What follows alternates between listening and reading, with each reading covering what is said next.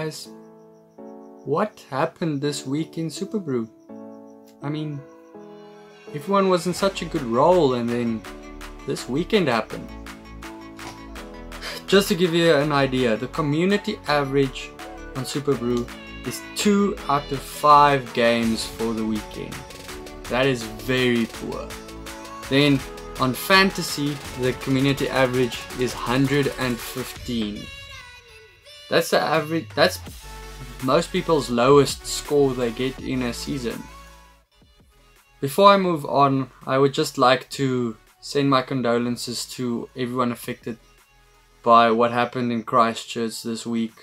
Uh, you are in our thoughts and in our prayers as South Africans, and we are thinking about you. The first game of the weekend was the Chiefs versus the Hurricanes. It was a typical New Zealand derby where no team gives it an inch and uh, no team actually backs down. The end score there was a draw, a 23-23 draw. Uh, they always say a draw is like kissing your sister. Uh, I think that is probably a good summary of what happened there. Uh, in that game, every time one team scored, the other team fired back with another score. The Chiefs would feel hard done. They had a seven point lead at halftime and they kind of gave it away from there. They did improve their defense, I have to say. Finally, they did br break their four game losing streak, so that is a big step for them. They don't have that L under their name, as you can see. Uh, Laumape, he didn't play that well for the Hurricanes, where Beauden Barrett, he actually did play really well. Uh, there, there's a couple of players that does make the dream team for this week. Blackwell from the Hurricanes, he's the lock. He got 10 on Superbru, which isn't fantastic, but that's the best lock for the week. Uh, made 7 meters, 9 carries, 11 tackles, and 1 turnover. It's always good when other players on your field can also make turnovers. Beauden Barrett, he's also in the dream team.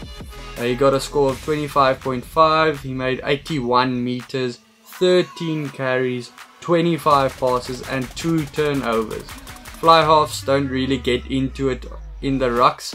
So if you see someone like Barrett get into the rucks and actually get the ball for your team, that's a very good sign. That means it's a guy that wants to work hard for his team.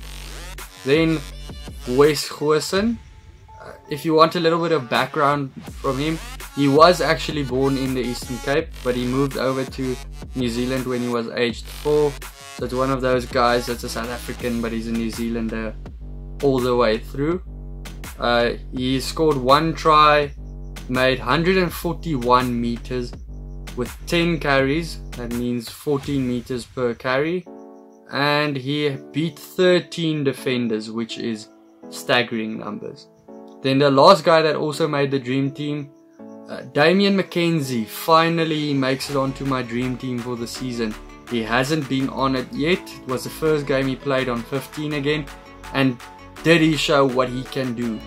At the 10, I don't think he's the best 10. I think they are ruining his chances to actually become a top All Black by playing him at 10. Just hear me out. They have Barrett and they have Mo'unga what do you why do you want McKenzie there as well? Why don't you just play him at fullback where he is at his best form? There he is competing with Jordie Barrett and Ben Smith, Smith and those guys, but Ben Smith isn't getting any younger and Damian is playing really well. He's that guy that can play anywhere, so I guess there is a bit of sense in playing him at 10. He scored one try, made 84 meters, 13 carries and beat 3 defenders. The second game for the weekend was the Brumbies versus the Waratahs. The Brumbies beating the Waratahs 19 to 16. It was a great game for the Brumbies as forwards. They really they outclassed the Waratahs forwards. The Waratahs had a bit of a lucky first try. I see a lot of reports where they say it was a training ground move which they tried to perfect there. I'm not so convinced. Foley kicked one out of four in that match.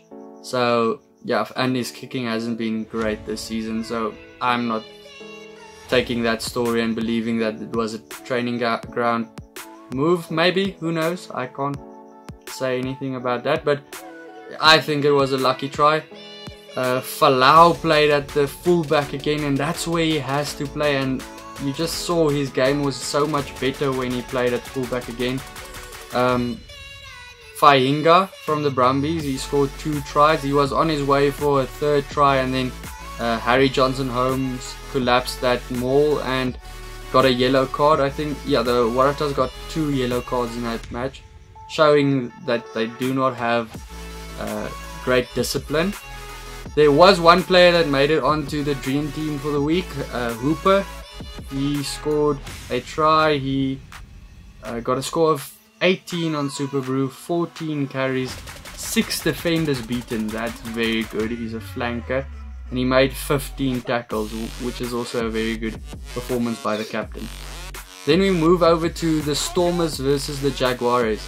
I read earlier they said the Stormers played badly in their first game, okay in their second game, good in their third game, and great in the, this fourth game.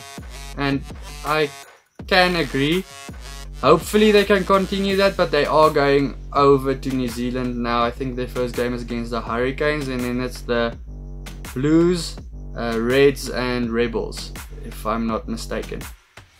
Uh, but this in this game, the Stormers showed they don't only possess defensive strength, but they also can attack.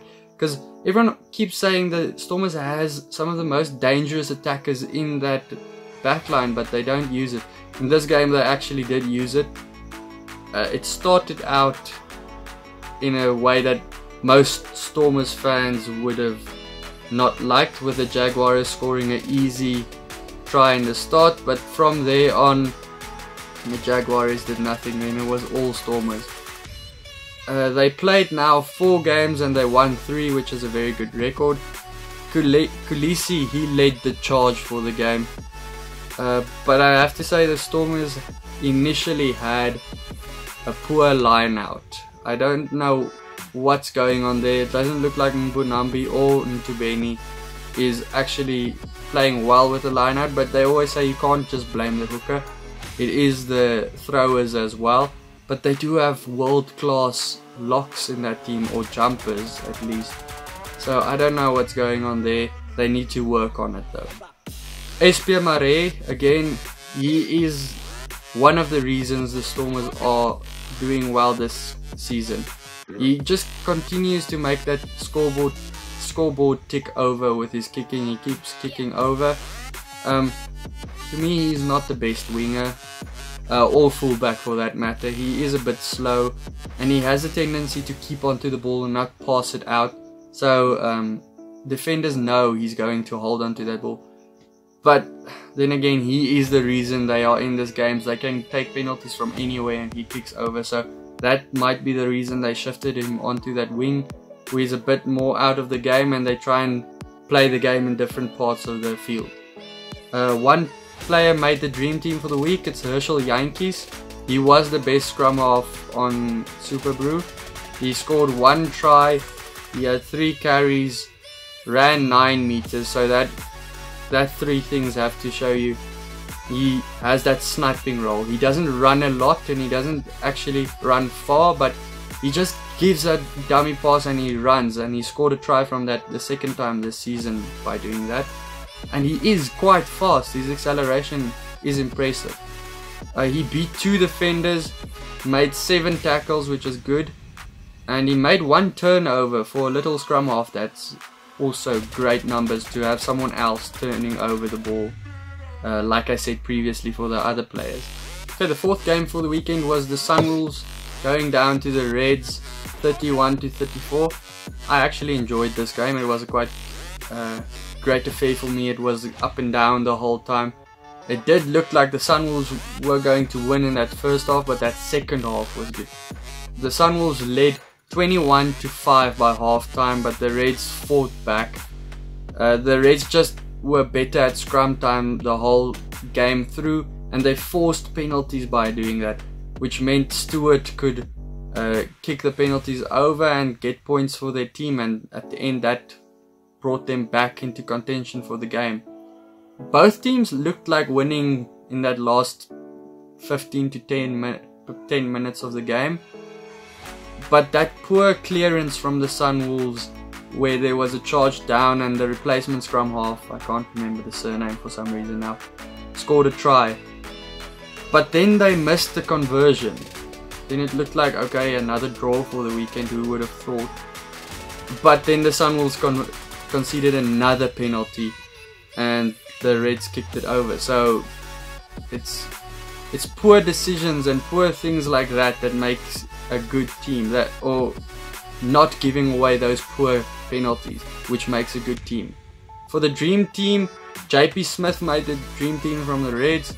Uh, he got a score of 10, 19 meters, 6 carries, 2 defenders beaten and 7 tackles. Then Salakaia-Loto. Uh, for Lock, he got 10.5, 16 meters, 17 carries, 2 defenders beaten and 6 tackles. Uh, Stewart also made the team. He, he got a 26, he made 82 meters, 10 carries, 7 defenders beaten, that's good. 3 clean breaks, uh, 2 conversions, 1 penalty. And then from the Sunwolves, Dan Pryor, he got a 19 on Superbru, 1 try, 40 meters, 7 carries, and 14 tackles, which is very good. Then we move over to the next game. The Crusaders versus Highlanders game was abandoned, and effectively, they, both teams got a, got two points, and it was a draw. Then it was the Lions versus the Rebels. In that first half, I thought, ah, another game on Superbru that's wrong. And yeah, halftime, the just soon after halftime, the Rebels scored again, and the score was at that moment 33 to 5 for the Rebels. So any I think everyone thought, okay, the Lions are going down here. Poor game from them. But then the Rebels started giving away a lot of penalties, um, which allowed the Lions to actually fight back. The Lions actually didn't go for goal a lot in the game. Being far down like that, it makes sense to actually go for the line or take a scrum or uh, yeah, whatever else. But the scrums, don't know what was going on there. It was up and down. It looks looked like the referee didn't know who was winning and who was losing. The Rebels gave away one yellow card, but I think there should have been more. They gave away cynical penalties after each other just in front of their line, and that to me is cynical penalties that get yellow cards. Uh, but at the end of the day, that was the referee's decision. The Lions also made poor decisions when they actually got back into the game. They turned down three opportunities to take uh, a shot at goal in the last 10 minutes. I don't understand why. There was no reason for them not to take the shot at goal because if they um, actually kicked it over, they would have won the game. And eventually, after trying to go to the line and attacking and attacking and not getting any try from that, they took the penalty in the 82nd minute from a bad angle as well, putting a lot of pressure on the young replacement. But he did perform well with that kick. The dream team players from that game was Dylan Smith, he he had a great prop performance, uh, running two meters with six carries. Uh, but he had one try assist for his nine on Superbru. Then Malcolm Marx, he had one try, 57 meters. He was a lot of times he was on the wing running and he has good carries over there. Uh, 17 carries, two clean breaks, and his lineouts looked good. He had 12 lineouts that was successful, so that gave him his score of 19 on Superbru. Then it was Kwagga Smith, uh, 89 meters, 7 carries, 1 try assist, and 8 tackles gave him a score of 20.5 on Superbru. And then from the Rebels, the two centers both make the team, Meakes and English. English got one try from 55 meters. Meakes, despite his yellow card he got, that was his only penalty he gave away in the game. So it was just the he was the unlucky man to at the end get the yellow card, but uh, he got a score of 16. He one try, 11 carries, 90 meters ran and he tackled 8 defenders. Okay, that's a review for week 5. Uh, if you haven't subscribed yet, please do. Please join the Superbru pool, it's in the description somewhere. And leave a comment if you like the new format of how I compiled the video. Uh, that's all. Cheers, see you for the preview.